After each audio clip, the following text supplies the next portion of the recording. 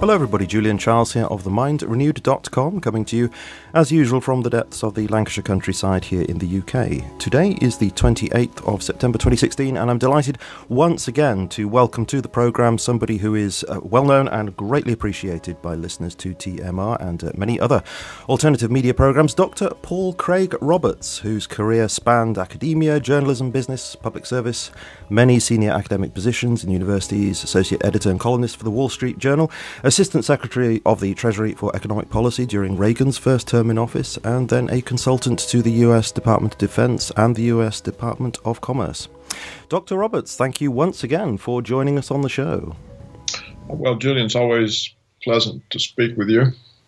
It's always a privilege to be able to speak with you, Dr. Roberts. So, we're going to be talking today about the ongoing situation in Syria and the prospects for war as you see them. And I'm, I'm, responding here really to a short article that you posted last week at paulcraigroberts.org, which you called, quote, Finally, the Russians have caught on that negotiation with Washington is pointless, end quote. And in that, you call for the people in the West to wake up to what our so called leaders are doing, lest there be a well, a third world war. And you draw specific attention to an article that analyzes the words of Russian Foreign Minister Sergei Lavrov at a recent meeting of the UN Security Council, and which he basically says that the so called ceasefire agreements are now pretty much off the table for discussion.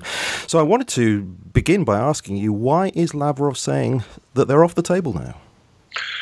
Well, um, there was the American attack on the Syrian army position, it was a known position. And so this was obviously not merely a violation of the ceasefire, but it was a new development. It was the first time the United States had itself directly attacked Syrian forces instead of using its jihadist forces, such as ISIL. So that was not only um, a violation, but it was an escalation of the conflict. It was a statement uh, by Washington to the Russians that Washington was now directly entering the conflict and that Russia in the future might actually face American forces, either in the air or on the ground. And then we had the uh, Turkish U.S. Uh, invasion of northern Syria. So the country is now petitioned. Hmm. And then today, the news is that Kerry has delivered an ultimatum to Lavrov that unless uh, Russia stops the Syrians from their advancement in Aleppo, where they're finally clearing out the American supported jihadists, ISIL, the whole agreement is off, and America will no longer cooperate with Russia and blah, blah. But of course, uh, Washington has never cooperated with Russia. So I don't really see the point of Kerry's ultimatum other than to set a firmer tone for war. And then we had today the faked report of the Malaysian airliner crash or being shot down. And the report ignores all the evidence supplied by Russia and concludes that the airliner was shot down by a missile system brought in from Russia and fired from rebel territory and then taken back to Russia, which is preposterous on its face. I mean, what does Russia have to gain from shooting down a Malaysian airliner? What's it got to do with anything? Russia and certainly why send it in to shoot it down from rebel territory and then take it back to Russia. If Russia wants to shoot the damn thing down, they could shoot it down from Russian territory. Mm-hmm. It's an absurdity, Julian, but what it is, it's part of the preparation of the brainwashed and propagandized, gullible people throughout the West for war with Russia because um, they're using obvious lies and they're setting Russia up on every front. So, why would you do that? What is the purpose of these aggressive lies, this aggressive use of language, all the accusations and insinuations? The Russians know they're all false. And so, what is the effect on the Russians? I'm talking about the Russian government. The effect on them is it looks like they're getting ready to attack us. It's a very dangerous situation. Absolutely. Do you think the hope in Washington is that Russia will essentially back down? I think that may be part of it, but you see, if it is, it comes from a lot of hubris and arrogance. Because if the assumption is we're going to threaten them with war and they'll back down, but what if they don't back down? If that's what it is, uh, an effort to get Russia to comply and allow Assad to be removed, that's what Washington is really demanding it shows recklessness on the part of Washington. It shows that Washington most certainly is unfit to be a leader of uh, Europe because all of Europe is now exposed to this war that these idiots in Washington are mobilizing toward. And the Europeans all sit there, oh, good, the Americans will save us, blah, blah. I mean, it's mindless to me. I don't see any intelligence anywhere in the Western world I'm talking about in the political leaders, mm. the media. I just don't see it. Do you think that Russia really does, again, Russian government, really does perceive the recklessness of Washington? And I say that because in one of your articles you say that the Russian government deceived itself with a, a fantasy belief that Russia and Washington had a common cause in fighting ISIS. So, you know, if they're deceiving themselves, if that's true what you say, then that suggests that they're not really understanding what you call the recklessness of Washington. Well, they didn't, uh, but they do now, I think. I mean, you know, Lavrov has said it's really pointless mm. negotiating with the Americans. They never keep the agreements. And now I think they see such extreme misrepresentations that they have to know diplomacy is useless. I think the Russians probably known this for a long time, but they are unwilling to uh, deny diplomatic efforts because that means force confronts force. So they have replied to Washington's aggression with diplomacy. And I think they've done that in a very responsible way in order to avoid conflict. You know, they don't reply in kind. But I think now they see that that this sort of sensible policy on their part has simply been used by Washington in order to set them up further. Hmm. Do you think in the past, well, up to this point, that they've been kind of calling Washington's bluff? In the sense of, you know, Washington says it's all about removing ISIS, so has Russia been saying, okay, that's what it's about, so now join with us to fight ISIS? It's kind of call your bluff on it, but now that's not going to work. I, I don't think they were calling our bluff. I think they were actually hoping that um, the war on terror, Washington's war on terror, was real and that it would lead to cooperation uh, between Washington and its European vassal states with Russia against the terrorists. And that this would then be uh, a development that would unify their interest and cool down the tensions. So I think that this was a very responsible and proper diplomatic policy for the Russians to take. I don't know if they understood all the risk of it. Uh, I don't know if they understood that the neoconservatives in Washington would see that as weakness on their part and push harder. I don't know if they understood the risk that Washington would simply take advantage of the Russians willing to keep giving these ceasefires in order to beef up ISIS and to interject American forces directly into the conflict and to arrange for Turkey to invade northern Syria. You see, I think the Russians and the Syrians can, at this point, clear out ISIS. Mm-hmm. Kerry's trying to block that in Aleppo. But the Russians and the Syrians can't really clear the Turks and the Americans out of northern Syria without having to attack Turkish and American forces. That then would lead to a much more serious situation. So I don't know that the Russians understood that by giving these ceasefires and halting and all of this, that they were going to end up with direct American and NATO participation in Syria. So you say you're essentially saying they've been too trusting, yeah. and as a consequence of that, there's been this effectively an invasion. is it 100 kilometers wide in northern Syria now occupied? Is that right? I don't know how large it is, but it would certainly mm. get larger. I mean, the country's petitioned, and so Washington can now keep the war going forever. In fact, it now has a place that ISIS can be safe because the Russians will hesitate to attack Turkish or U.S. positions. Now, they may simply lose their patience at some point. So, yes, I think they've been too trusting, but even more than that, I'm not sure they understood the risk in their very responsible position. They were trying to behave in a responsible way, and I don't think they understood that Washington was going to behave in the most irresponsible way possible. And so the two strategies don't meld in any way. So Washington's irresponsible policy would take advantage of the Russians' responsible policy. And I think the consequence has been worse for the Russians.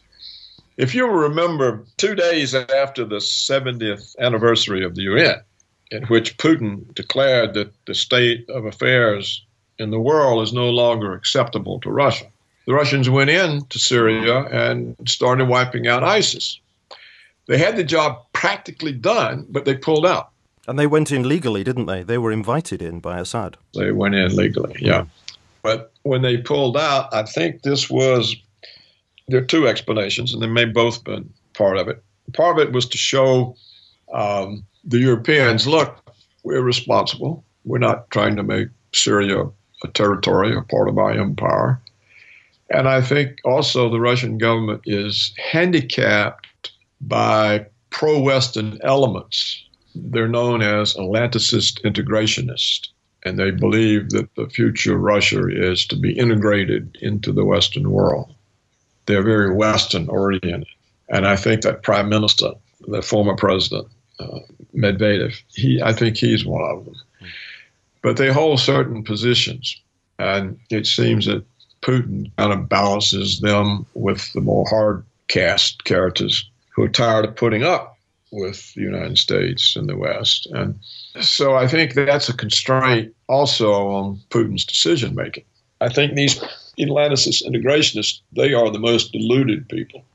And they probably uh, exercise a lot of pressure toward trusting uh, the West, which I think a number of the Russian government officials know is pointless. And I think when Lavrov more or less said that, it shows a change in temperature in Russia. Now, on the other hand, I'm convinced the Russians don't want a war. So whether they will give up, sacrifice something in order to avoid war, that remains to be seen. But I think it's very irresponsible for Washington, the British, the Germans, the French, the Canadians, the Australians, the Danish. Can you imagine tiny little Denmark getting involved in something like this? I mean, they could be wiped off Earth in 10 seconds. When you see these people behave so irresponsibly in provoking a major military power armed to the teeth with nuclear weapons, you have to wonder if there is any intelligence anywhere in the Western world that can affect anything. Mm-hmm. Certainly not the media, certainly not in the governments, apparently not even in the big organizations. So when you have this type of situation, you have to say war is very possible. And one thing that really concerns me about this is as NATO troops get more and more involved, as surely they will do, and this area that's been invaded expands further, then it seems to me, I don't know whether you agree, that you know the mainstream media will make a propaganda coup out of this and say that well, you know, Russia is not being involved in fighting terrorism anymore. They're not joining with the international community. They're being very selfish and looking after their own concerns and looking after Syria's concerns. And the bigger this occupation becomes, and the more NATO gets involved with it, it's going to create even a greater bifurcation than we already have. Exactly, you're right. That's exactly what is happening. That's Washington's strategy. Mm. I use the word, uh, the phrase international community there, ironically, because I know it's a propaganda phrase in itself. It's a propaganda. Chomsky often points that out, yeah. Um, I wanted to ask you about the rebels and the terrorists, as they're variously labelled. You also write uh, the Russian government even went along with the pretense that the various ISIS groups operating under various pen names were moderate rebels who could be separated from the extremists.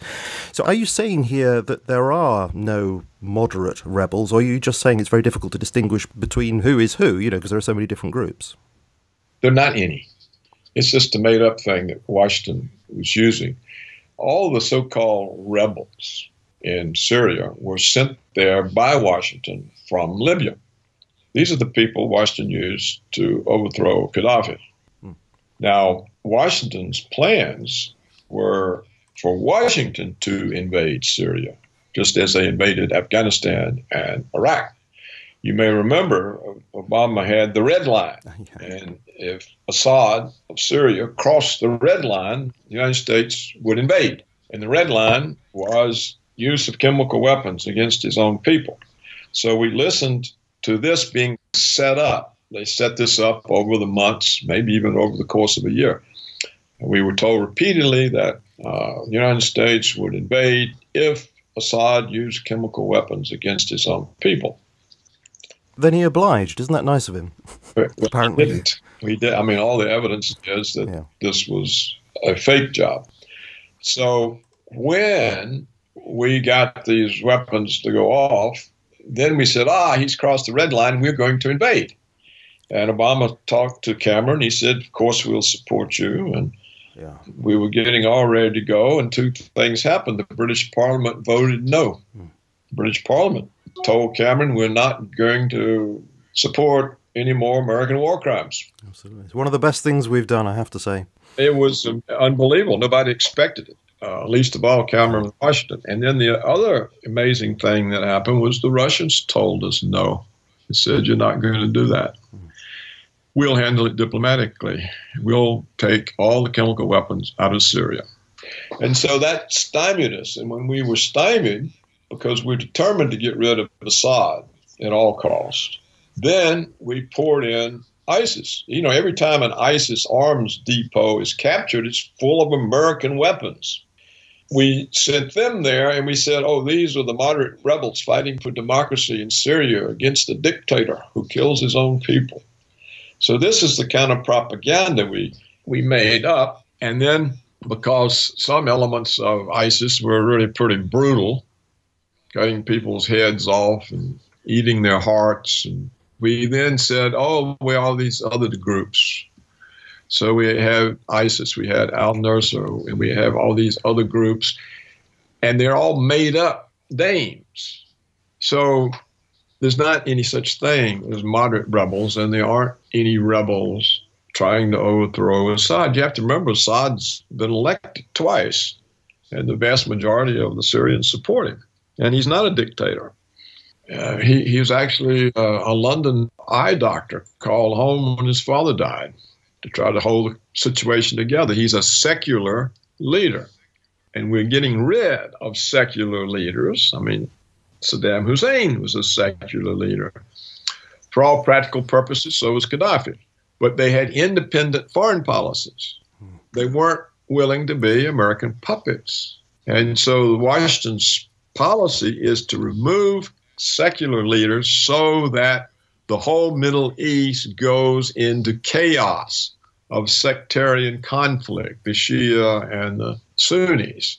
And if the whole Middle East is in sectarian conflict, there's nobody to get in Israel's way.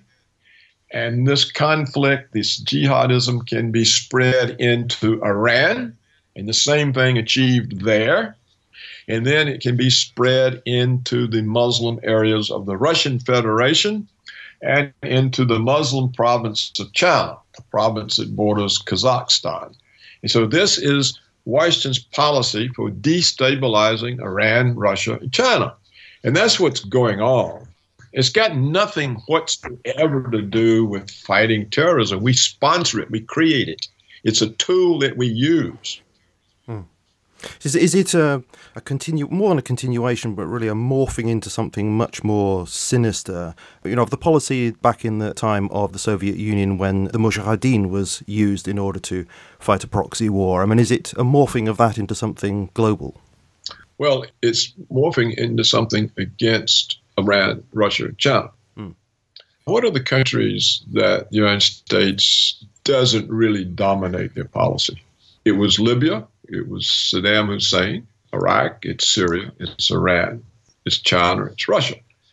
Mm-hmm. It was maybe in some sense also Afghanistan. So, what's happened to these countries that were not under Washington's thumb? They're being destroyed. And Iran is not off the radar. They're just off it until we work our way through Syria. I think Iran is on the list that Wesley Clark talked about several years ago, and he said that he was told that it was US neocon policy to go into X number of countries in X number of years. Yeah, I, don't remember if it's on there or not on, on what he said, mm. but it's certainly on the list. Mm. In fact, every country. In fact, now what you're going to see is Philippines is going to be on the list because the president of the Philippines is apparently had enough with the United States and is talking about opening to Russia and China. You have to remember the Philippines were conquered by us. We took them away from the Spanish and we ruled them and we didn't treat them nice. And some years ago, they banned us from Subic Bay. And then they got into a fight with China and needed some support, so they let us come back to Subic Bay. And now they've got this president who seems to be willing to throw us out again. So that's a very dangerous situation for him. But look what happens to anybody who doesn't follow our rule. What was the woman's name who was president of Argentina? Cristina. We got rid of her. We framed her up. She's out. Mm. The next one was uh, Rousseff in Brazil. Framed up, gone. We're about to get rid of the president of Venezuela, Ecuador, and Bolivia. Why? Because they are independent in their foreign policies. They criticize us legitimately criticizes. So the United States simply does not permit any country to conduct a foreign policy independently of Washington. And so I'm challenging you, your listeners, anybody, give me a list of countries with independent foreign policies. Right now, you've got Syria, Iran, China, and Russia, and North Korea. Who else? South Korea? Japan? Nope. Indonesia? Nope. We wiped them out some decades ago. Malaysia? No. India? Uh, yeah, India maybe. I don't know what we've got in store for India. I think Washington is going to try to avoid that and just bypass it. If they can destabilize Russia and China, then India will surrender. I'd like to, if I may, take you back to those US airstrikes on Syrian positions that you mentioned at the top of the interview. You obviously do not accept what John Kerry has said about it, that it was a terrible accident, um, that they thought they were attacking ISIS forces. Finian Cunningham says he thinks it was done deliberately to trash the ceasefire, but he thinks that maybe Obama and Kerry naively possibly believed that the ceasefire could go ahead and that this, therefore, is done by the Pentagon and the CIA behind the Obama administration's back. Do you think that's possible? It could have been done behind their back. Yeah, they could have been sandbagged, but they've acquiesced in it, haven't they? Yeah. Uh, it's not like uh, the president and Kerry have said, hey, look, uh, this was done by these military idiots and we've disciplined them. Sure. They've simply acquiesced in the lies here's what I have to say. If the United States did that by accident, it proves the United States is militarily incompetent. It's more incompetent than some third world country because it was a known position of the Syrian army. And it wasn't just the United States. The British were involved, I think, certainly the Australians, and little Denmark. So, what in the world is Australia and Denmark doing in this? See, it's, it's all providing cover for Washington. What were the British doing it for? But I suppose John Kerry would say, well, it's it's better to be incompetent than evil, and he sort of pulled that line, hasn't he, with respect to Russia, saying to them, well, you know, at least we've owned up to our terrible accident. Well, you haven't owned up about your supposed attack on the humanitarian convoys, uh, getting political capital out of this. Well, of course, the Russians didn't attack the convoy, did they? No. Why would they do it? We can go back to the Malaysian airliner. What interest does Russia have in shooting down a Malaysian airliner? Zero, none. Mm. It wouldn't happen. So, what interest do they have in destroying the aid convoy that they have sent through their territory and control points? They didn't want the damn aid convoy to go there, they would have stopped it. I do agree with you. It's it's just that you know this is one of the reasons why I actually wanted to speak to you because I was listening to the radio and I constantly this is the BBC mostly I tend to listen to, and of course time and time again was coming the message that although we couldn't be absolutely sure, of course, that Russia had done it, but for one reason or other, the US is saying, oh, we have reason to believe that it's Russia. That's the most likely explanation. I'm sitting there thinking that seems to me to be the least likely explanation for the right. reasons you've just said. What could they possibly have to gain? All they have to gain is the dislike of the whole world for doing something so evil. It just seems ridiculous to me. Well, you know, all of this is so silly. When you talk about evil, what do you think the United States and Britain have done for the last 15 years? How many millions of Muslims have they slaughtered? How many millions have they dispossessed and brought to their own borders as refugees because they can't do anything about it? Your whole refugee problem is your own fault. You went over there and supported American war crimes. There have been millions murdered, wounded, maimed, millions displaced. Talking about evil. I mean, the West is the font of this evil. And all of this slaughter based on outrageous, transparent lies. And the British Prime Minister gets up and talks as if he's the salt of the earth. It's sickening. It's like the entire West has become a psychopathic glob, devouring everything in sight. And now it's about to devour itself if it gets a nuclear war going. I mean, we're sitting on the precipice. I mean, these damn bombs could start going off any minute. You can't demonize nuclear powers, convince them you're going to attack them, and expect them not to do something. That's what we're doing. Yes. But you have said to me in the past, I'm agreeing with you here, that you know by doing what we have been doing, we're putting them onto a high state of alert, and that in itself is incredibly dangerous because it means that somebody could do something inadvertently, perhaps they misunderstand an order or something like that, and all hell could break loose it can break loose just as an accident, Julian. Yes. All during the Cold War, mm. there were numerous cases of false alarms that missiles had been launched. But because the United States and the Soviets were working to diffuse tensions, mm. both sides, when they would get an alarm, was suspicious of it because they thought the tensions didn't justify the attack. And fortunately, didn't push some button thinking it was a real attack. But when you have tensions at the level they are now, one false alarm can produce a button pushed because we've convinced them we're going to attack them. And the crazy neo- neocons are convinced that the Russians are evil. So if we get a false alarm, the neocons are going to be screaming, push the button, push the button. So it's really dangerous now. You know, Julian, people say, oh, the Cold War started again. You hear this constantly from pundits. I wish the Cold War would come back because the Cold War was very carefully managed. Tensions were reduced. We've got the opposite of a Cold War. We've got tensions increased beyond any level they ever existed before. What you say about this situation brings to mind James Douglass's book, JFK the Unspeakable, where he talks about um, John Kennedy and Khrushchev being in secret communication in order to try and uh, restrain both of their military who are wanting to behave in a, in a heated way. But there isn't that now, is there? No. There isn't that understanding between leaders at all. No, there's not. And that's why Kennedy was killed, because the CIA and the Joint Chiefs thought he was soft on communism he was selling out America behind their backs by talking to this Soviet commie. And we can't trust him. He'll sell out America. And this is why he was assassinated. Yes, he makes a very convincing case. Yeah, yeah. yeah. Can I bring you back to, uh, you know, we were talking about various factions in Syria and to what extent they're real, imaginary, etc.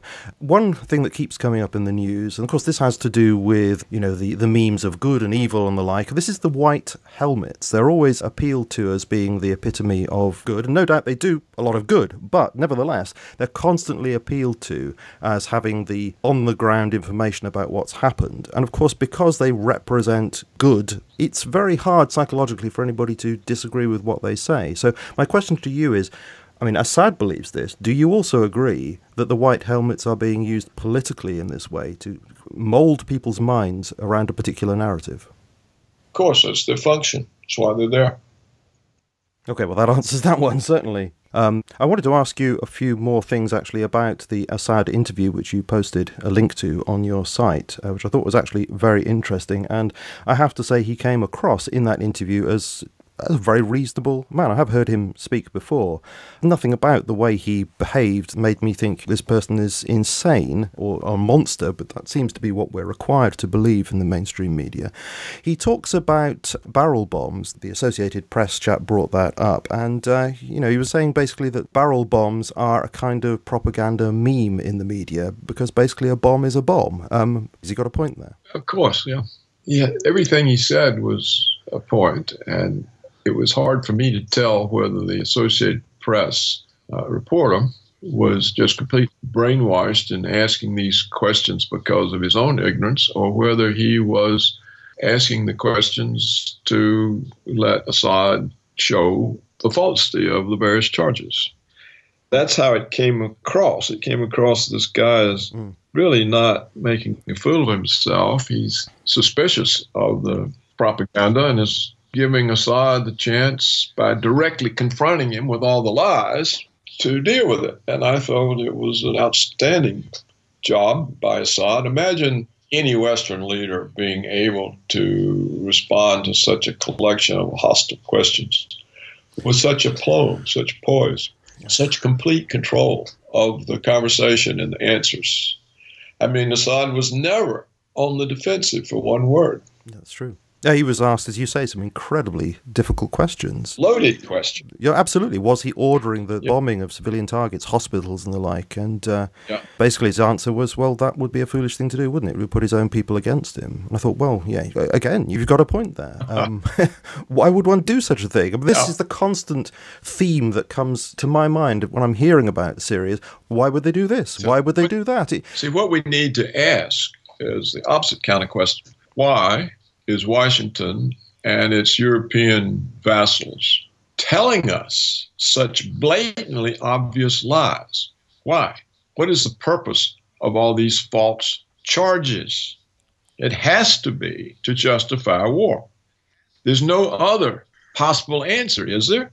I agree. It must be to justify making motions towards war, but presumably in the hope that the other side will back down. I mean, I, that has to be surely in their mind. They can't actually want to have a thermonuclear war. That doesn't make sense to me either. Well, some of them do want it. Really? Some of them think you can win it. And this is why they got the American war doctrine changed. You know, we no longer have mutually assured destruction, use of nuclear weapons only in retaliation. They now, in our war doctrine, are preemptive first strike. And the Russians know that. They know we've changed the war doctrine to preemptive first strike. So when you make them feel threatened and you make them feel they're going to be attacked, they're not going to sit there, they're going to strike. So this is why the world is a thousand times more dangerous than it ever was during the Cold War. So we have to come back to the question that needs to be asked to the BBC, to British Prime Minister, to everybody. Why are you telling us these lies? Why are you creating conflict?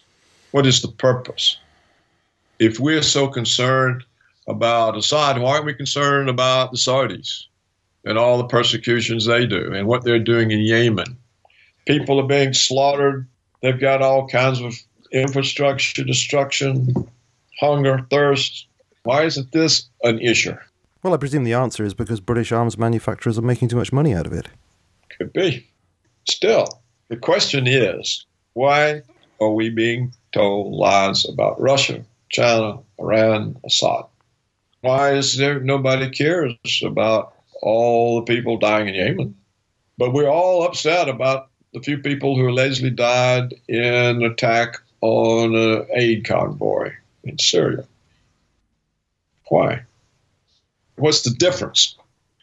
Well, the difference is the Saudi attack on Yemen serves Washington's purpose, and all the attacks on Syria serve Washington's purpose. And if they can be spread into attacks on Russia and Iran. That serves Washington's purpose. You know, if Washington succeeds in Syria, then first thing you're going to hear is, see, well, look, it was so hard to succeed because Iran was supporting this brutal dictator, Assad. We have to get Iran. They have to be held accountable for this. And so then it'll all start there. And do you think it would be done in the same kind of way by agitating within the country and same. sending people in to same. shoot into the crowd, etc., yeah. and getting everybody against each other, and then going in and saying, "Well, we've got a humanitarian crisis, etc." Yes, we already have people there doing that. You know, there have been a lot of assassinations in Iran. You remember, too, a few years back, we tried to pull the Green Revolution there. There was an election in which Washington money played a huge role, and we put out into the streets non governmental organizations in Iran that we had been financing. And we had a candidate running. Uh, the whole West was in favor of him, and they announced the Green Revolution, and people were wearing green armbands, and this was all the American NGOs sent into operation. So Iran is vulnerable. I mean, it's already penetrated. And we have a lot of NGOs in Russia and China. Finally, the Russian government has made the foreign financed NGOs register and has declared them uh, unwelcome, but they're still there. We have them in China, particularly in Hong Kong. That's what all the student protests a couple of years ago in Hong Kong were about. We were trying to spread those into all the Chinese universities. But there's a tremendous amount of American money in China American organizations, the Rockefeller Foundation's there. We help finance universities and think tanks. So both of these countries, uh, being trusting, thinking that having moved away from communism, that they had some sort of common interest with Washington, they don't perceive even now the ideology of the neoconservatives because the notion of world hegemony is so absurd that the Russians and Chinese can't take it seriously. They don't see that as a threat. It's just too absurd. What do you mean? History chose you to have hegemony over the world. They don't understand that this is a real fanatical ideology. And so they've been careless in exposing themselves. Like the Russian currency is exposed, it can be manipulated. We can drive it down they're foolish enough to allow foreign capital inflow. So you can send money in, drive the currency up, then at the crucial point, you can pull it all out and drive the currency down. The central bank president is so gullible, she doesn't even understand the exposure that she makes available, how Washington can control the Russian economy through her incompetence. Both of these countries are too open to their enemies we have all kinds of money and organizations and the Rockefeller Foundation, everybody working to create allies. And in fact, I, have well, I won't say anymore. I was just thinking that when Russia acts in the way you described against these NGOs, getting them to register and the like, that is seen as Russia closing itself down and being dictatorial. Right. It's painted that's, in that, in that that's way. That's what they're accused of, yeah. In other words, if you don't let these crowds run through the streets and demand overthrow of the government and all of that, and they're, they're all they were all financed by Washington. In fact, the whole West, but mainly Washington and the German Marshall Fund. And there were a thousand, one thousand Western financed NGOs operating wow. in Russia. Right. Unregistered. Unregistered. I don't know how many are in China, but let me tell you what happens in China. An American company goes in, uh, has a plant there. It creates a domestic board, a regional board. Now, the company is run from the board in the U.S., but it creates a fake board and puts on there the relatives of the local and regional Communist Party officials, pays them enormous sums. This then corrupts the local and regional Communist Party officials and gives them an interest different from the Central Party officials. They become allied with the Western firms, paying their relatives enormous sums of money. This is the way Washington subverts countries. It's how we're subverting China. We do the same thing in universities. The Chinese and Russian economists are essentially all neoliberals because they're trained in the Western tradition. So essentially, all of their recommendations set their countries up for manipulation by Washington. And a number of times in the interview, you have used the word uh, neoconservative, and in your article, you say that you know what's needed and needed quickly. And I'm going to quote from you is um, the criminal neoconservatives must be immediately removed from power in Washington before the insane fools start World War III. You say the CIA and the Pentagon must be put under tight constraints, and the European governments need immediately to disband the NATO alliance. So, my question to you here is well, how is any of that possible? It's not. That's why we're going to head right straight into World War III. Do you see. But people always say, tell us what to do. Well, I told them that's what you got to do if you want to avoid the war, and you can't do it. yeah, but do you see any hope? And I'm, I'm not saying myself that I do, but I'm asking you if you see any hope with Donald Trump. And the reason why I say that is because you say that, well, you imply that his life is in danger. It's well known, obviously, that he is anti establishment to an extent. The, the, the military establishment seems to hate his guts. Do you think there's any hope with him? Well, probably not. Um, if he were to be elected, the question is could he staff a government that would support him? How would he do that? Does he know who those people are? Does he know who the enemies of the neoconservatives are? Does he know the people who don't believe in American world hegemony, who would conduct a different foreign policy? Uh, does he have people who would give up the reliance on coercion and force and retreat to diplomacy, to working things out the way Putin keeps offering. Does he know those people? No, he doesn't know who they are. He's not experienced in policy. He doesn't. Uh, his appointees have to be confirmed by the Senate, who are owned lock, stock, and barrel by the oligarchs, by the military security complex, Wall Street, the big banks, the energy companies, agribusiness, the Israel lobby. So, who can he appoint? And then if he gets a peacemaker or something, neocons will run to the Senate and say, oh, this guy's too weak. He won't stand up to Putin.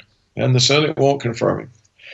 You see, Trump has a lot of support because the American people obviously have lost confidence in the establishment. They've lost confidence in both parties.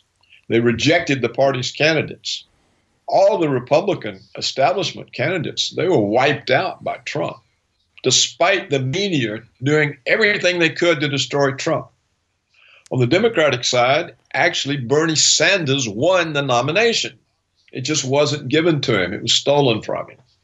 So all those people know it was stolen from him. I doubt they're going to vote, all of those Democrats, I doubt they're going to vote for Hillary. So if Trump doesn't win, it's because they've rigged the voting machines. They're all electronic. There are no paper trails. You can't tell how they're programmed because it's proprietary information. It's secret. So if Trump doesn't win, we'll know it was stolen. If he does win, the question is who staffs his government? How does he produce a government that will follow him rather than the powerful oligarchies? No, but isn't it possible that he could produce a kind of dysfunctional government? It sounds like a, a, strange thing to hope for, but isn't it possible that it could be dysfunctional so that nothing can actually get done? Wouldn't that be a better situation than we have now? You told me earlier that Finian Cunningham put forward the explanation, which is plausible, that the CIA and the Pentagon decided to do one thing and not pay any attention to the president and the Secretary of State. So how does Trump control that? Yeah, he doesn't. Uh, I don't think the president of the United States was responsible for the Gulf of Tonkin mm. lie that we used to start the Vietnam War. I don't think the president was in on that. He was just sandbagged. Uh, they tried to sandbag John F. Kennedy with the Bay of Pigs. They produced a situation where they were convinced he would have to send in the American Air Force, and he didn't do it. So, you know, they do whatever they want to do. And you have to have a government. You, there are a couple hundred assistant secretaries. And of those, there's probably 30 that are very important. They got more power than the president. If he doesn't have those 30 assistant secretaries on his side, he doesn't have a government. Okay, so you can't think then of anything that is going to stop this continual neocon push towards no, the edge of war. You, you... Nothing can stop it but the Europeans. Mm. The European political parties have got to say, you know, the Americans, they've already ruined us with sanctions because we all of our firms and farmers, and everybody have been hurt because can't do business with Russia. And now they're going to drag us into a war with Russia what do we get out of that except death and destruction? And yeah, we like all the bagfuls of money that the Americans give us, but you can't spend it if you're vaporized. And so to hell with NATO. We're not participating in this. No more U.S. bases in Europe. No more forward bases on Russia's borders. We don't want anything else to do with you. Go home because if we let you stay here, we're going to all be dead. D E A D. And until the leaders in Europe can reach that conclusion, there's nothing can be done. Can you think of anything that will actually lead European leaders to that conclusion? I mean, the only thing I can think of from just from what you're saying people, now is some people, sort of pardon? people voting out all of the established candidates like the Americans tried to do in the primaries we've just went through. When the Tories and the Labor stand for election, they get zero votes. That's what has to happen. When Merkel stands for election, she gets zero votes. Hollande, Sarkozy, zero votes. Nothing else. Or else the Russians and the Chinese just have to surrender, which is possible. I mean, it's, it's not Putin who's driving the world to the brink of conflict. He's sitting there taking all the insults and the affronts. He's not replying in kind. The Chinese raise their voice, but they don't take any threatening action. So they may say, well, look, you know, these crazy Americans are going to kill everybody. It's better to be a vassal than to be dead. They may. They may surrender. Well, as always, so often when we have these kinds of conversations, we do tend to end on a note which is obviously very concerning and uh, a bit of a downer, but one of the reasons why I do like speaking to you, Dr. Roberts, is you, you tell the truth as it is and you do not sweet talk it. Um, and I think listeners genuinely do appreciate that. Um, we are at this very, very dangerous juncture and there aren't many options, and you've described a couple of things that could happen, and we have to work towards that in any way that we can, and pray towards that in any way that we can, in the hope that these things will in fact happen that you have described. Otherwise, we're looking at, well, we're looking at destruction. Well, Julian, just keep in mind, it's really way too late to be getting concerned. We should have been concerned a long time ago what was the matter with people? So we'll see what the Russians and the Chinese do. Whether or not the world lives or dies, really, I think, will depend on whether or not they surrender. It won't depend on anything the West does because the West has zero judgment, zero humanity, zero morality. But you said to me that you do have at least a modicum of hope that Europe will do the right thing at some point. Maybe it will require, I don't know, perhaps it will require a, a, nuclear bomb going off somewhere and suddenly Europe saying, well, this is what's going to happen. Right, we're pulling out of this situation. I don't know. But you do at least seem to hold out the hope that Europe will make a decision in the right direction, possibly. I think that's the only hope Putin has. That's why Putin takes all of this abuse. He's waiting on Europe to wake up. It's the only hope. Not that Europe can do anything. But if Europe removes itself from the American empire, we don't have the cover, we don't have the forward bases, we're isolated. And the evil here is so enormous, it must be isolated. Do you think there's anything short of some kind of no. localized nuclear strike that would actually wake the European people up? I don't know what the strike would be. I think if one of those things goes off, all of them are going to go off. Yeah, you're probably right. Yeah. You have to understand how destructive these are. People say, oh, well, nuclear war, it's not all that bad. Look at Hiroshima and Nagasaki. They're great, big, beautiful, enormous cities. You know, they recovered. Uh, you know, it's no worse than the firebombing of Dresden. And this is the way some of these people talk. What they overlook is, as powerful as the atomic bomb was, it's a pop gun compared to today's thermonuclear weapons. According to scientific studies I have seen, one Russian SS 18 warhead is capable of wiping out three fourths of the state of New York for thousands of years.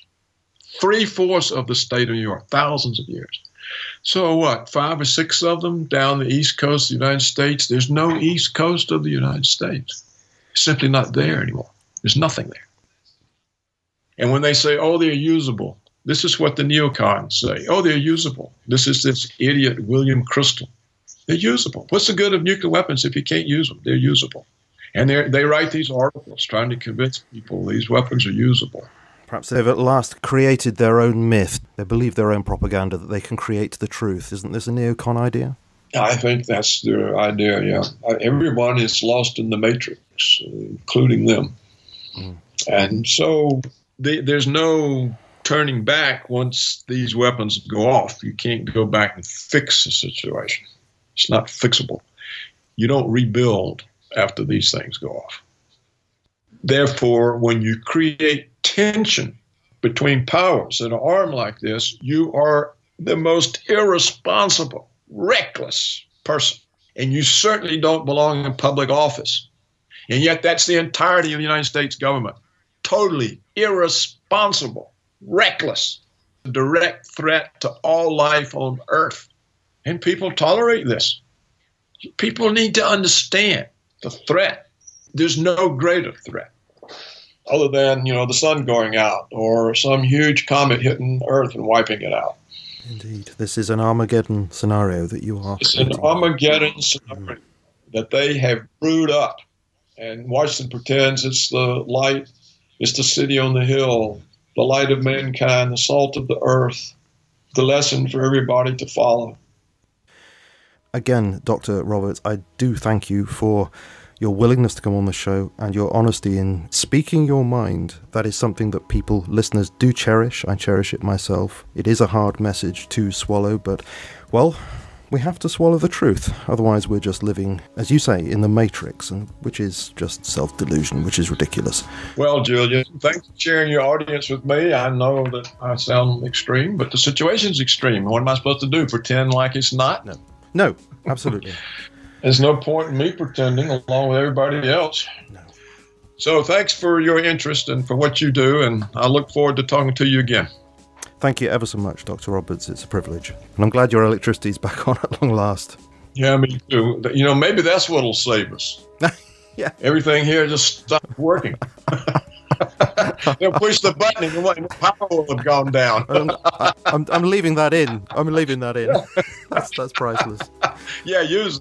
They'll push the button and there'll be a power outage. because they spent all the money in the wars. I think I just I do need to make listeners aware of the fact that when we were going to start this interview that you had this power outage and we were perhaps going to try to connect by telephone but that wasn't possible either and we thought the interview wasn't going to happen and uh, you say that your electricity situation is much worse than it used to be after all these uh, improvements in inverted commas that have gone on over the years. Yeah. So it's uh, highly amusing that you say that could actually end up saving us from all you've been talking about. right the U.S. infrastructure will simply collapse. Maybe that'll save us. Wonderful. All right. Thank you again, Dr. Roberts. Great to speak to you. Bye bye. Bye bye. Bye bye. Bye.